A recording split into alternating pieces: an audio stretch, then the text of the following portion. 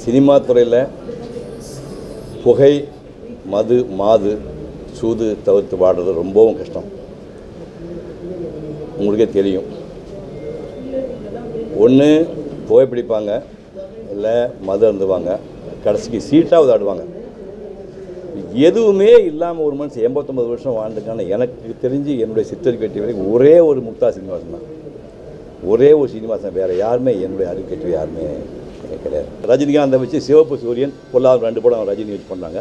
கமலஹாசன் நல்ல ஞாபகம் வச்சுங்க சுட துண்டு வேஷம் பண்ணிட்டு ப்ளே பாய் மாதிரி பண்ணி சொல்லத்தான் நினைக்கல பாலச்சந்திர படங்களே பார்த்தா ப்ளே பாய் தான் நினைச்சு சொல்லத்தான் நினைக்கிறேன் அரங்கேறவனை பார்த்தோம் கிட்டத்தட்ட ஒரு வில்லன் டைப் ரோல் அந்த மாதிரி படித்த பையனை அந்தரங்க படத்தில் முத முதல் ஹீரோவாக போட்ட ஒரு முத்தா சீனிவாசன் அதுக்கப்புறம் சினிமா ஸ்பெஷல் ஒரு படம் பண்ணாங்க. அதுக்கப்புறம் ஆயிரத்தி தொள்ளாயிரத்தி அறுபத்தி எண்பதுகளில் நான் வந்து அவன் அவள் அதுன்னு ஒரு படம் பண்ணேன். ஒரு வேடிக்கையான கதை. அப்போவே வந்து சிவசங்கரி வந்து சிங்கம் முயலாக இருந்த தலைப்பு கொடுத்து ஒரு படம் பண்ணாங்க. தமிழ் சினிமா வரலாற்றில் முத முதல்ல ஒரு பேசும் படம் பாட்டு இல்லாமல் வந்த படம். ஏவன் கெட்டியா ஜப்பானுக்கு கிளம்பி போகிறாரு அந்த கேப்பில் வந்து கல்கத்தாவில் வந்து ஒரு பேராசிரியர் பேர் சொல்ல நல்லா இருக்காது. ஒரு பேராசிரியரை வச்சு ஹீரோவை போட்டு படத்தை ஷூட் பண்ணிட்டாங்க. இப்போ பத்தாயிரம் அடி படம் வந்துச்சு. அதை போட்டு பார்த்தோன்னா செட்டியார் திருப்பி இல்லை மொத்தத்தையும் கிழிச்சு போட்டுங்கன்னு சொல்லிட்டு அந்த படத்தை கிழிச்சு போடுறது சிவாஜியை வச்சு அதே வீணை பாலச்சந்தர் தயாரித்த படத்துக்கு இந்த மனிதன் தான் அசிஸ்டன்ட் டைரக்டராக இருக்கார். ஆயிரத்தி தொள்ளாயிரத்தி ஐம்பத்தி நாலில்.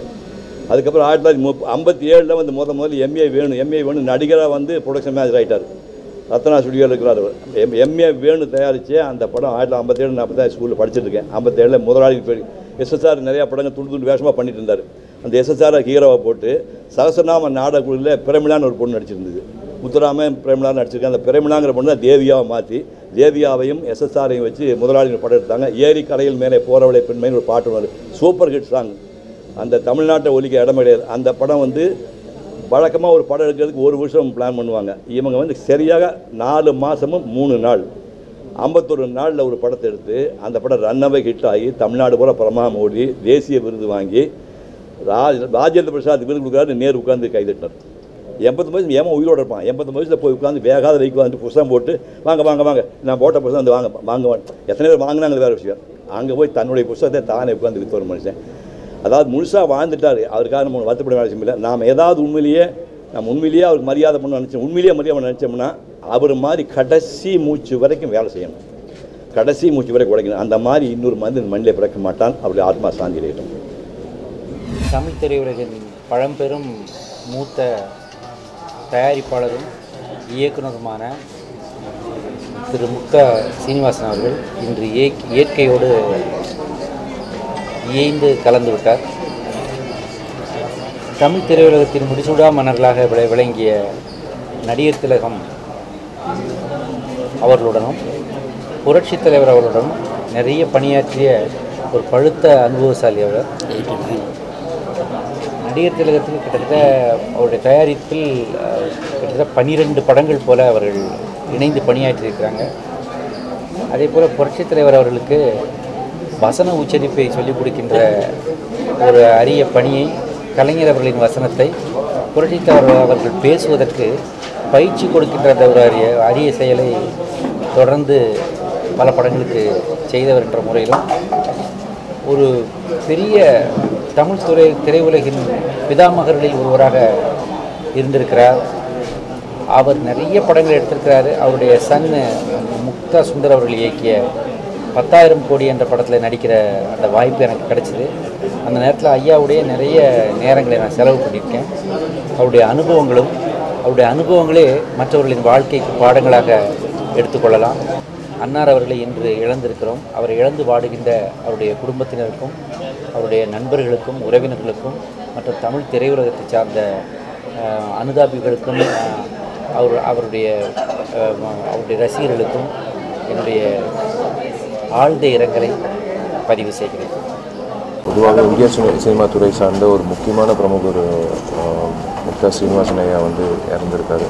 இது ஒரு முக்கியமான விஷயம் என்னென்னா அவர் தான் வந்து இந்த தமிழ் திரைப்பட தயாரிப்பாளர் சங்கத்தோட one of the founder members இன்னைக்கு இந்த தயாரிப்பாளர் சங்கம் இவ்வளோ சிறப்பாக இயங்கிட்டு இருக்குன்னா இத்தனை நல்ல உள்ளங்கள் வந்து தொடங்கி வைத்த அந்த ஆசீர்வாதம் தான். நான் என்னை பொறுத்த வரைக்கும் எனக்கு நான் இந்த இதே தயாரிப்பாளர் சங்கத்தில் தலைவராக நான் போட்டியிட போகிறேன் அப்படின்னு சொல்லிட்டு அவர்கிட்ட ஆசீர்வாதம் வாங்கும்போது அவர் என்னை கேட்ட ஒரே கேள்வி நீ இந்த தயாரிப்பாளர் சங்கத்துக்கு நீ என்ன பண்ண போகிற நீ வந்து நீ என்ன இப்போ பண்ணலான்னு முடிவு எடுத்திருக்க? நாங்கள்லாம் வந்து நிறைய விஷயங்கள் பண்ணியிருக்கோம். ஸோ இதை வந்து கட்டி காப்பாற்றணும் இதில் இதில் இந்த சங்கத்தோட மரியாதையை வந்து நீ கட்டி காப்பாற்றணும்னா நிறைய விஷயங்கள் இறங்கி பண்ணணும்னு சொன்ன ஒரு விஷயம்.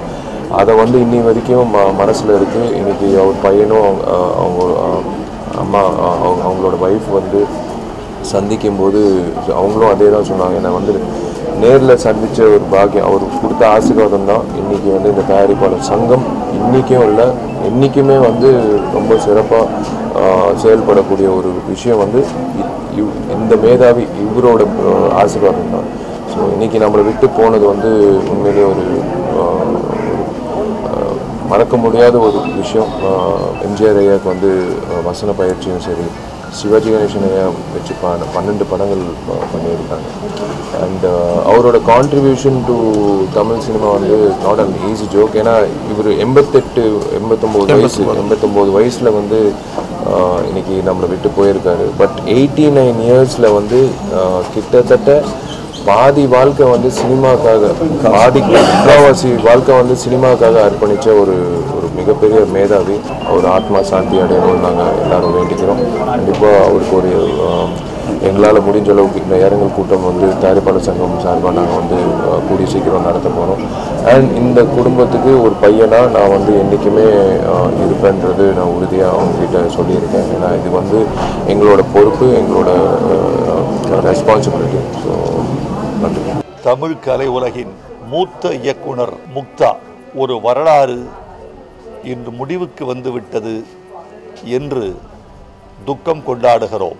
கலைஞரையும் கண்ணதாசனையும் மாடர்ன் தியேட்டர்ஸ் நிறுவனத்தில் வரவேற்ற நிலையில் முன்பே அங்கு சண்டமாரதம் பத்திரிகையில் ஆசிரியராக இருந்தவர் முக்தா சீனிவாசன். தன்னுடைய முதல் படத்துக்கே தேசிய விருது பெற்றவர் முக்தா சீனிவாசன் முதலாளி தேசிய விருது பெற்றது ஜனரஞ்சகமான கலைஞர். எல்லாவற்றையும் விட அவர் ஒரு கலை இயக்குனர் என்பதை விட ஒரு எழுத்தாளர் ஒரு வரலாற்று ஆசிரியர் என்று சொல்லிக் கொள்வதில் பெருமை உடையவர். தமிழ்நாட்டின் போன நூற்றாண்டின் மிகப்பெரிய ஆளுமைகளையெல்லாம் ஒரே நூலில் கொண்டு வந்த ஒரு பெருமை அவருக்கு உண்டு. அவரோடு நான் பணியாற்றி இருக்கிறேன் கதாநாயகன் வாய்க்கொழுப்பு ஒரு மலரின் பயணம் என்ற படங்களிலெல்லாம் அவரோடு நான் பணியாற்றி இருக்கிறேன் ஒரு செய்தியை சொன்னால் எல்லோருக்கும் வியப்பாக கூட இருக்கும். மதுரை வீரனுக்கு பிறகுதான் மலைக்கள்ளனுக்கு பிறகுதான் எம்ஜிஆருக்கு ஒரு பெரிய திறந்த வெளி திறந்தது. அந்த மதுரை வீரன் படத்திற்கு உதவி இயக்குனராக பணியாற்றியவர் முக்தா சீனிவாசன் என்பதே அவருடைய நீண்ட பாரம்பரியத்தை சொல்லும். அவருக்கு மரணம் என்பது உடலுக்கான மரணம் மட்டும்தான். அவருடைய கலை படங்களும் படைப்புகளும் நீண்ட காலம் அவர் புகழை பாடிக்கொண்டே இருக்கும். அவரது குடும்பத்தாருக்கும் அவரை இழந்து வாடும் ரசிக பெருமக்களுக்கும் என் ஆழ்ந்த இரங்கலை தெரிவித்துக் கொள்கிறேன்.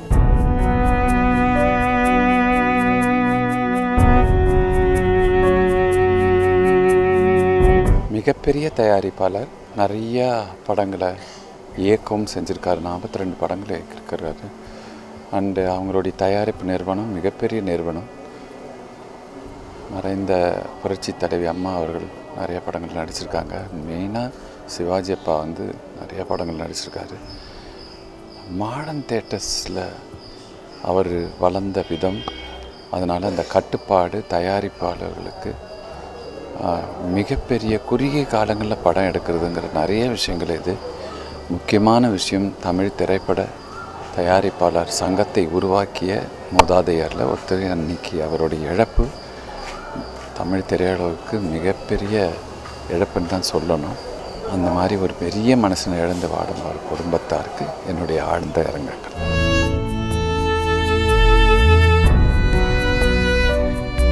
முக்தா சீனிவாசன் ஐயா அவருடைய எண்பத்தி ஒன்பதாவது ஆண்டில் இறந்திருக்கார். அவர் ஒரு திரைப்படத்துறை சார்ந்தவருங்கிறதுக்காக நான் இதில் வந்து பங்கேற்கலை. அவர் ஒரு ஒரு தீவிர சிந்தனையாளர் ஒரு சிறந்த எழுத்தாளர்.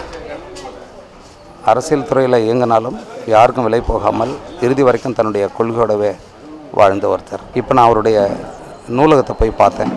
கிடைப்பதற்கரிய பல நூல்கள் அங்கே இருக்குது இதெல்லாம் அவர் படிச்சிருக்கார். ரொம்ப வேப்பாக இருக்குது ஏன்னா இதுதான் ஒரு சிறந்த வாழ்க்கை வாழ்ந்திருக்காரு. மகிழ்ச்சியாக வாழ்ந்திருக்காரு. அவராகவே வாழ்ந்திருக்கார்.